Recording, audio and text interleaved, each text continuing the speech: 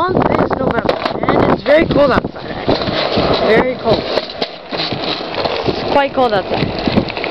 And right now I'm just...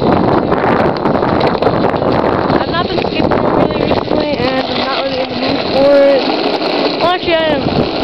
My legs just aren't really ready for it yet, because they're still kind of, you know, still kind of there, like, yeah, they're not ready for it. I mean, my always have not been very high recently, for whatever reason, just because I haven't been skating in a while, and yeah, but, cruising around here, got my hand tightly held on the camera here, and this is why, this is a good reason for the camera. Very sunny up there, very sunny, but, yeah. I normally skate home before when it's cold, like today. I'm, you know, quite cold. You know,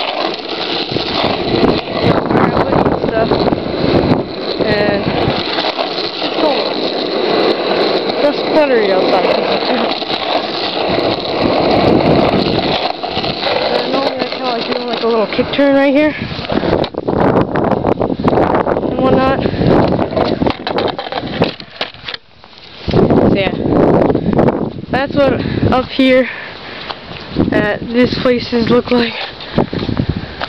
It's so bright up there. Yeah.